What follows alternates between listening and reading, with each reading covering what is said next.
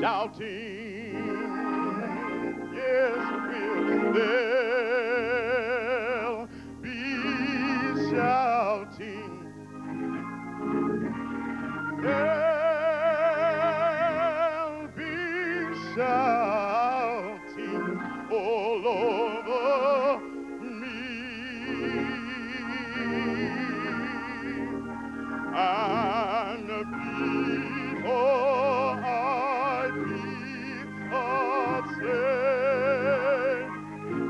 you may as well bury me in my grave and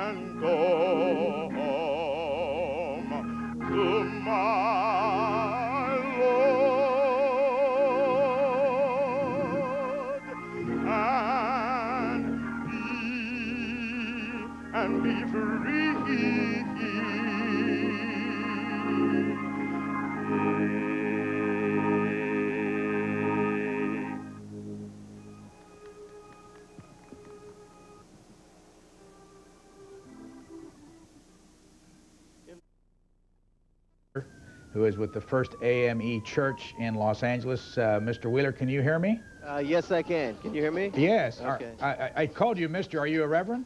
Uh, no, I'm not. I'm a financial consultant with one of the largest uh, brokerage firms on Wall Street. What are you doing here? What am I doing here? Yes. I'm showing my support for black men. What do you think about the activities so far? I think it's a fabulous event. I'm so proud to be here. As a black man, I, I couldn't imagine being anywhere else on earth. How did you get here? Uh, I flew in from Los Angeles. What were the crowds like? Oh, uh, it was amazing. To, and, and you know what? There, there's a lot of talk about, for, for years, what, what has been happening in America is that black men have not been standing together. If a year ago, if you had told me that black men were going to come together and be as many as they are here, or even half this many, I'd have told you you're dreaming. Never are black men going to ever come together and do anything positive like this. It was one of my dreams, but I didn't think it would happen. And now look at this. And, and one, one, one thing that I'd like um, I, I told a lady on the, in the airplane, she asked me why was I coming. And I said, she was a stewardess. I said, it's just like what you said uh, when, when they gave the demonstration about the, uh, the mask that drops down. You know, in order to help someone else who has the, the uh, oxygen mask, you got to put it on yourself first, and then you do your kid.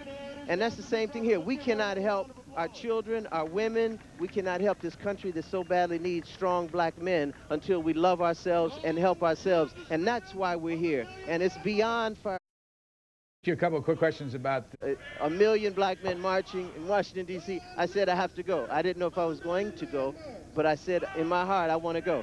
and what if, what about the crowd there today? Is it what you thought it would be at this point? Well, it's so hard to see. I'm waiting. I'm from Chicago. Where'd you go to school? Uh, a a little short background. I speak fluent French, Italian, a little bit of Japanese. I've lived eight years in Paris, five years in uh, Rome, uh, what, about six years in Japan. Um, In other words, you've been around. I came because I remember 1963 and the unity that we showed as a people in America. I came because I'm not so much afraid these days of the KKK, Ku Klux Klan, but in the words of Delores Tucker, I'm, I'm afraid and concerned about KKK, kids killing kids. My son is 15 years old in America today, and it's important for me that he understand not only that we love one another, but that we appear and are indeed a people who are unified to solve the problems of the African American community. If we don't act to help ourselves, we will, we're doomed. And so that's why I'm here because I believe in the principle. I may not agree totally with American people in unity. And that's why I'm here because God taught me to love not just my brothers, whom all of these people are, but as a Christian, it's important for me to love my enemies as well. I think unity is really important today. When did you decide to? If there were to be actually a million men or a million people on the mall, they would have to occupy the space all the way from the Capitol to the Lincoln Memorial. And he's 12 years old and he's from Fort Myer, Virginia. Mr. Shingler, why did you come to this march today? Because I would like to be out here to make this part of history with all the black community. Where do you go to school? Oxon Hill Middle. How big is your school? Mm, it's pretty big. It has a cafeteria, gym, and two floors for this piece of history. And why is this important to you?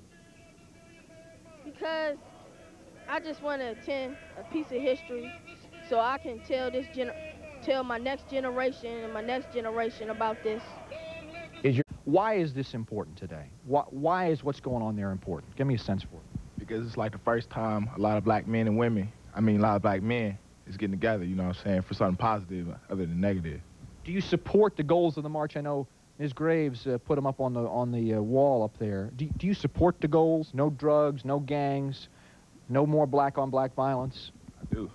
Very much, I do. Well, your own personal opinion of today's event? I don't have a problem with it. I think that it's positive. I don't feel excluded. My man was included. And if my man is liberated, that means that I'm liberated. Ms. Graves, thanks very much. Thanks for letting. banner behind him, uh, Mr. Brown? What's that behind you?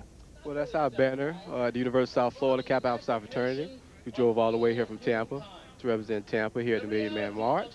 How'd I'm enjoying myself here. Uh, it's, it's an immense pleasure to be around so many positive people. What do you do in Tampa? Are you a student? Yes, I'm a student. I'm a business student. I'll be graduating in December with a degree in marketing. Where are you from originally? I'm from Tampa. And why, what's the, well, first of all, how did you get here? We drove, actually. In a car or bus? No, we actually rented a van and we drove. What do you think so far? I'm happy. I think uh, it's over a million people here, a million black men here. So, many people gathered here for such a momentous occasion and one that's positive